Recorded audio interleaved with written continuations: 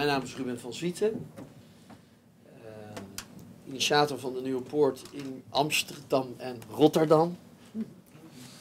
Uh, predikant met bijzondere opdracht voor de Protestantse Kerk in Nederland.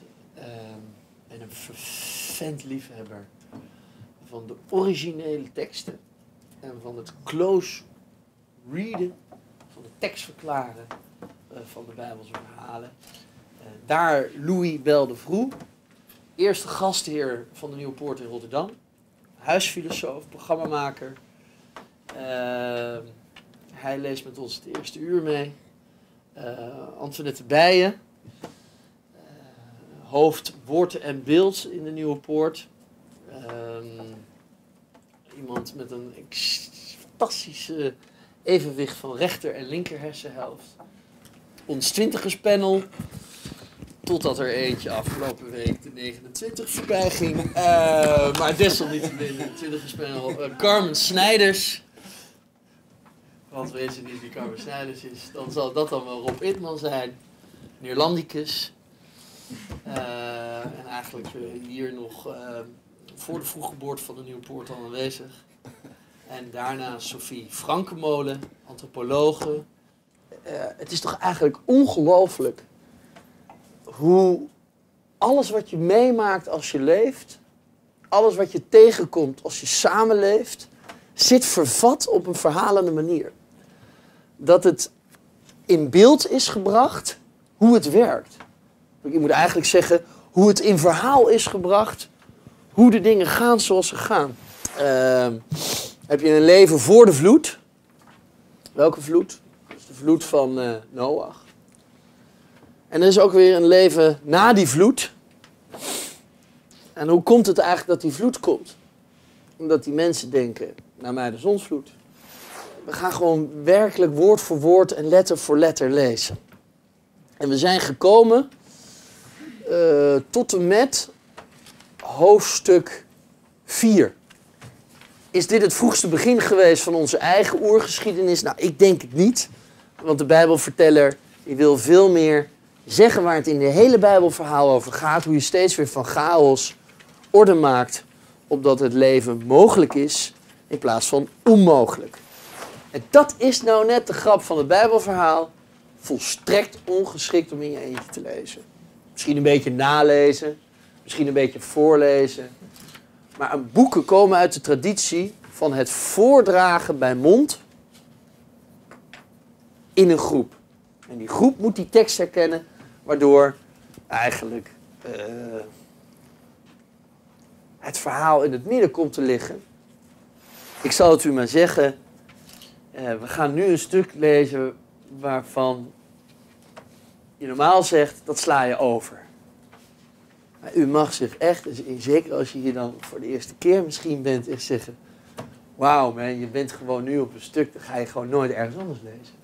Ik zie er zelf ook een beetje tegenop, moet ik eerlijk zeggen. Ja, maar we gaan het nu toch echt doen. Um, en um, ah, het is wel enig hoor, het is wel enig. Ja, we doen het gewoon. En Kain had gemeenschap met zijn vrouw. En zij werd zwanger en baarde Henoch. Daarna werd hij de stichter van een stad. En hij noemde deze stad naar zijn zoon Henoch. En aan Henoch werd Irad geboren. En Irad verwekte Meguiael. En Meguiael verwekte Methusael. En Methusael verwekte Lamech. En Lamech nam zich twee vrouwen.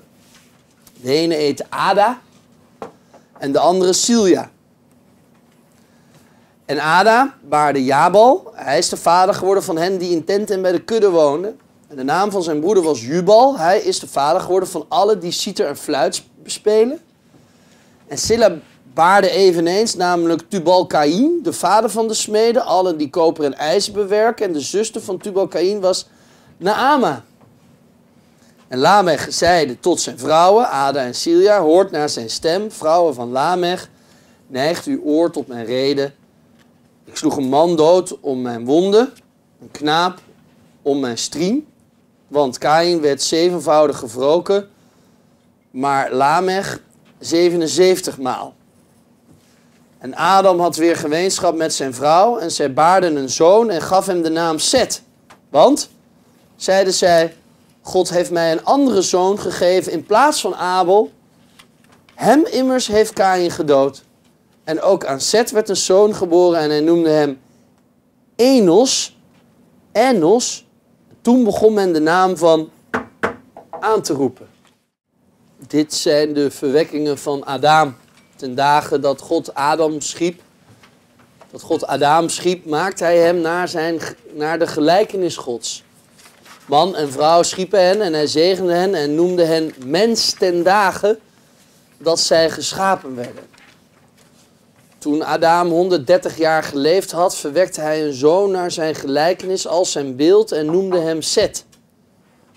En de dagen van Adam, nadat hij Seth verwekt had, waren 800 jaar en hij verwekte zonen en dochteren. Zo waren al de dagen van Adam, die hij geleefd had, 930 jaar en hij stierf. Toen Seth 105 jaar geleefd had, verwekte hij Enos. En Seth leefde nadat hij Enos verwekt had 807 jaar en hij verwekte zonen en dochteren. Zo waren al de dagen van Seth 912 jaar en hij stierf. Toen Enos 90 jaar geleefd had, verwekte hij Kenan. En Enos leefde nadat hij Kenan verwekt had 815 jaar en hij verwekte zonen en dochteren. Zo waren al de dagen van Enos 905 jaar en hij stierf. Toen Kenan 70 jaar geleefd had, verwekte hij Mahalalel. En Kenan leefde nadat hij Mahalalel verwekt had 840 jaar en hij verwekte zonen en dochteren. Zo waren al de dagen van Kenan 910 jaar en hij stierf. Toen Mahalalel 65 jaar geleefd had, verwekte hij Jered. En Mahalel leefde nadat hij Jered verwekt had 830 jaar en hij verwekte zonen en dochteren. Zo waren al de dagen van Mahalalel 895 jaar en hij stierf. Toen Jered 162 jaar geleefd had, verwekte hij Henoch. En Jered leefde nadat hij Henoch verwekt had 800 jaar en hij verwekte zonen en dochteren. Zo waren al de dagen van Jered 962 jaar en hij stierf. Toen hij nog 65 jaar geleefd had, verwekte hij Methuselah. En Henoch wandelde met God nadat hij Methuselah verwekt had 300 jaar en hij verwekte zonen en dochteren. Zo waren al de dagen van Henoch 365 jaar. En Henoch wandelde met God en hij was niet meer, want God had hem opgenomen. Toen Methuselah 187 jaar geleefd had, verwekte hij Lamech. En Methuselah leefde nadat hij Lamech verwekt had 782 jaar en hij verwekte zonen en dochteren. Zo waren al de dagen van Methuselah 960 jaar en hij stierf toen Lamech 182 jaar geleefd had, verwekte hij een zoon en gaf hem de naam Noach, zeggende, deze zal ons troosten over de moeitevolle arbeid onze handen op deze aardbodem die vervloekt heeft. En Lamech leefde nadat hij Noach verwekt had 595 jaar en hij verwekte zonen en dochteren. Zo waren al de dagen van Lamech 777 jaar en hij stierf. Toen Noach 500 jaar oud geworden was, verwekte Noach Sem, Gam en Javed. Net, wat lijkt me dat nu makkelijk om gewoon aan jou te vragen. wat jij denkt, wat je opvalt. We begonnen nog even bij vers 17 van hoofdstuk 4. Ja. En daar wordt Henoch geïntroduceerd. Henoch die tegelijkertijd een zoon is en waarna ook een stad wordt genoemd. En dus vroeg ik mij af, dat is, lijkt wel een soort beginpunt. Het beginpunt waaruit vervolgens al die namen, daar begint het volgens mij Henoch. Dus ik dacht, wat, wat is dat dan? Betekent dat dan nog iets? Wat is dan Henoch? Ik sloeg een man dood om mijn wonden, een knaap om mijn striem. Want Kain wordt zevenvoudig gevroken, maar Lamech 77 maal. Dat, daar zit natuurlijk een heleboel achter waarvan ik denk, wat dan precies en hoe zit dat nou ook alweer? En dat, dat, ehm, daar ben ik dan benieuwd naar. Waarom de een 800 jaar en de ander 807 jaar, 912 jaar. En dan lijkt het op een gegeven moment weer alsof het even wat minder wordt, zo oud als ze worden. Maar dan worden ze weer ouder. Waar heeft dat mee te maken in die de, de voedselzandloper? Nee, ik weet niet precies wat dat... Of, of dan, en dat vind ik de hele tijd het gekke aan, aan deze teksten. Dat ik denk, moet ik nou op alles letten? Ik word er bijna achterdochtig van. Van. Is hier nou overal iets bedoeld? En is dat dan ook precies alsof ik inderdaad helemaal soms in het verkeerde zit te zoeken? Maar goed, dit valt mij wel op dat overal die, die, die jaren zo expliciet genoemd worden. En dan, wat mij dan echt opvalt, is dat in vers 22 van hoofdstuk 5. Dan komt er eens iets anders, want dan is het weer Henoch. En Henoch wandelde met God. Dus al die anderen die zijn op een gegeven moment op een leeftijd, dan krijgen ze een kind of een zoon, dan baren ze een zoon. Hij verwekte, die verwekken dan kinderen. Maar en dan Henoch, die wandelde met God. En dan vervolgens wandelt hij in vers 24 wandelt hij met God. En dan wordt het uitgelegd. En hij was niet meer, want God had hem opgenomen. Nou, en dan komt natuurlijk wel vervolgens Noach. En dat is de enige die inderdaad ook een toelichting krijgt. Al die namen vraag ik me dus inderdaad af, wat zou dat dan betekenen? Zeggende over Noach, deze zal ons troosten over de moeitevolle arbeid enzovoorts. Ehm, dus alsof dit een hele soort opbouw is om te komen tot Noach. Wat mij opviel. Eh, veel ook wat Antoinette zei. Eh, maar. Ehm, ik heb misschien nog iets toe te voegen, hopelijk. Nou ja, vers 23, ja, dat, dat, dat lijkt op een soort bekentenis. Hoor mijn stem, neigt uw oor tot mijn reden, dus luister naar mij. En het is een soort van, ik sloeg een man dood om mijn wonden. Uh, nou ja, ik weet niet waar dat vandaan komt, maar het komt een soort van openheid ineens. Tot daar Lamech 182 jaar geleefd had, verwekte hij een zoon. Dus tot dat moment is het zoon en dochteren, maar daar blijft het even haken. Uh, daar zijn geen dochteren en daar is geen meervoud meer, daar is de ene persoon en die krijgt de naam Noach. En deze heeft dus een functie, want deze zal ons troosten. Troosten waarover? Er is ons niks verteld over een moeitevolle arbe arbeid onze handen op deze aardbodem. Even kijken. Je noemt dat van anoniem naar? Naam. Naar naam.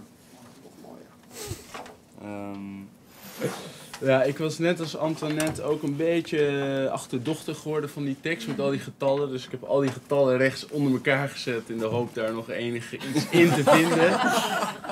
um, ja. En? Ze eindigen allemaal op een 0, een 7, 2 of 5. Dus ik weet niet of daar... Uh, dat is, 0, 7, 2 of Een hele Joodse bezigheid. En als je dat ja, ja. ja, ik heb het nog niet op kunnen tellen. Dat uh, is voor Marion. Uh. Oké, wil nog even... En Lamech nam zich twee vrouwen.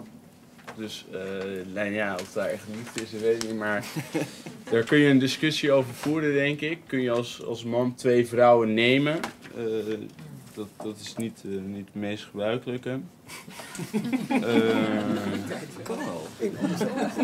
nou, dan viel op dat ze allemaal wel erg lang leven. Als we nu denken dat we steeds ouder worden, dan, dan hebben we het eigenlijk goed mis.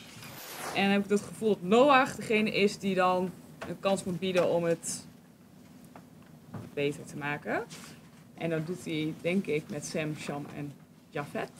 En dat komt, denk ik, in hoofdstuk 6 naar voren. ja, dit, maar dit is echt, ja, nee, nee, maar dit nu, ja, dit is echt, dit is echt ontroerend mooi.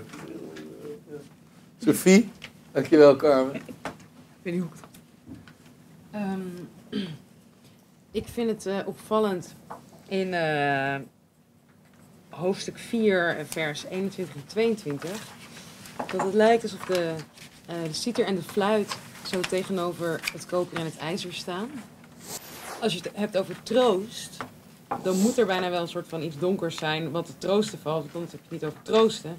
Dus vind ik een heel tekenend woord, alsof er, na, alsof er in al die generaties opeens troost nodig is.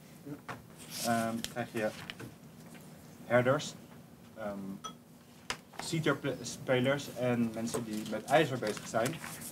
En ik krijg, ik krijg een beetje het gevoel dat, dat er een overgang is van een sedentaire levensvorm Ja. naar meer een stadstaat. Ja. En een arbeidsdeling. Ehm, en dat vond ik heel erg, interessa- dat vond ik heel erg interessant. Wat zeg je? Weet je? De hele lijn. Ja, het staat volgens mij in hoofdstuk, sorry, ik had even, hoofdstuk 4, vers 15. Ik heb serieus dit gelezen. Dan nu, wie ook maar Kain dood, hem zal het zevenvoudig Juist. worden gevroren. Eh. Sorry, prachtige inleiding. Ik heb een verwondering over vers 24. Eh, er staat Henoch wandelde met God en hij was niet meer, want God had hem opgenomen. Maar iedereen daarvoor en daarna stierf gewoon. En ik vroeg me af of er een verschil was tussen er niet meer zijn en dat sterven. En Henoch wandelde met God. Maar in het vorige hoofdstuk kom ik nog eens een keer in Henoch terug, eh, tegen, die- waarna een stad genoemd is. Dus hoe zit dit allemaal? Of zijn er twee Henochen? De lineaire logica waarom iemand meerdere keren in hetzelfde verhaal in de geschiedenis kan voorkomen, dat is misschien nog geen geschiedenisverhaal. Ja. Maar geworden jongen. Kijk, hoofdstuk 5, vers 2, daar staat eh, Vijf vers 2. man en vrouw. Hij noemde hen mens. Maar als je verder kijkt worden zonen en dochteren geboren. Maar als ik het eh, goed heb, kom ik geen enkele naam van een dochter tegen. Dus alleen maar van zonen. Klopt dat? Eh, Even gewoon ook een beeld krijgen van hoe je, hoe je Ja, ik als ik dat gewoon even gewoon brutaal mag vragen, hoe je hier zit. Ja. Ik vind het een hele spannende tekst, maar ik zit in volstrekte. ja, Ja. Ik, Ja, ik, dus- ik, ik, onzekerheid van wat hier nog van gaat komen. Ja. ja. ik snap er helemaal niks van. En ik laat, ik laat het over me heen. Wat is in het Jodendom ook wel een andere naam voor de Bijbelse God, voor JHWH? Ja, of? Heel raar, maar in de filosofie wordt ook wel eens gesproken over de naam. Dus eh, hoe je in het leven kan staan. Hoe je verschillende mensbeelden kan hebben. Of je alleen maar van hart, harde hardst, of dat je ook van eh, de kwetsbaarheid en het omzien bent. Dit hele hoofdstuk bestaat uit 365 woorden. Noem eens even een paar steden in de Bijbel die er wel eens voorbij komen. Negatief, Sodom en Babel. Babel. Jericho, Jeruzalem. Eh, eh. Eh, ja, maar even niet in die categorie. We gaan eerst even alle slechte steden verzamelen. En dan is er één tegenoverstad en die is al gepakt door jouw naam? Pieter. Pieter. Helemaal niet. 10, Dat uh, Nederlands publiek. 7, 10 en dan de drie zonen van Noach. Dus ik kom op 12. Ja. Maar ik ga met Antoinette mee, want eh, er begint iets nieuws met die drie zonen. En het zijn er precies tien. Wat je nu dus krijgt is tien namen. En We zijn eruit. eh. Ja, we zijn eruit. Maar, maar op dat moment concludeerde u, u zei het, welk getal? Ik zei 12. Nee, hè, toen zei je eh, tien. Ja, ja, 10. Ja, het is goed. Ja. Het Ja, ja, maar je moet het zelf ook echt zien. Hè? Je moet het zelf ook echt zien. Ik bedoel, ik ga mee met 10 namelijk. Ehm, en er gebeurt iets nieuws. Allermooiste was wat Carmen zei. Zou ik zeggen in Bijbelse, eh, dat is dan mijn mening over wat, hoe dan in Bijbelse sfeer. Het voelde ook een beetje, het was een cadans, maar het was ook een beetje als een sleur van het leven. We nemen het op tegen de Zuidas als de nieuwe poort, maar tegelijk zouden we willen dat we hier één grote community zouden worden. Zo. Het is je vriend, het is je vijand, maar tegelijk ook je vriend.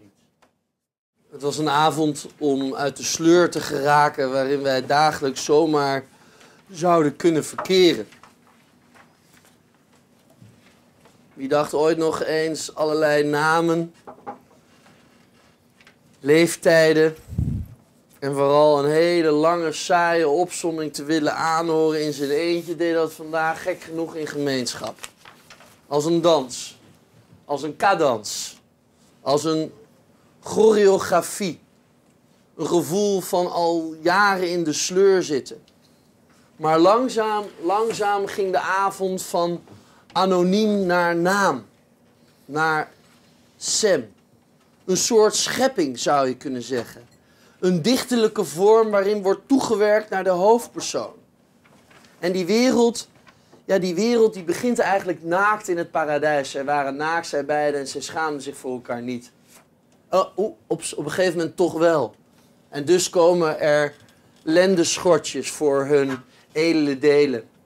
Maar op een gegeven moment meten ze zichzelf lijfrokken aan. Ze worden zichzelf belangrijk. Ze gaan feestjes houden. En ach, het is allemaal glans, het leven. Het is allemaal sier. En het is hier en daar wat op de citer en de fluit spelen. Ja, en vooral in de wapenindustrie beleggen. En dan de ander daar nog eens even de maat voor nemen. Die al eigenlijk was vrijgesproken als nog een keer zevenvoudig wreken en 77 maal. Maar ondertussen. Ondertussen die broeder, die zwakke broeder. Die eersteling die niet de eersteling was. Daarvoor komt iets in de plaats. Ander zaad nieuw zaad, Zet.